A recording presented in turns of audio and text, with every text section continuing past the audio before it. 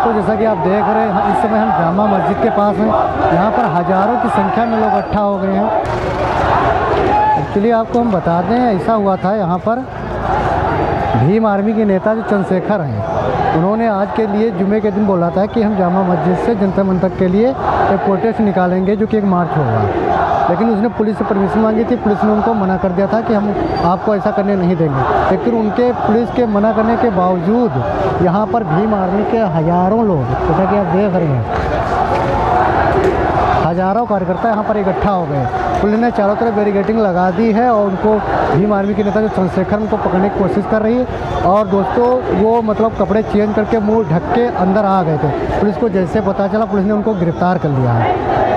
तो दोस्तों, जैसा देख रहे हैं, भीड़ बहुत ज़्यादा है, जैसा जो कुछ होगा, हम आपको बताते रहेंगे। पुलिस आ गए, पुलिस सबको दौड़ा रही है।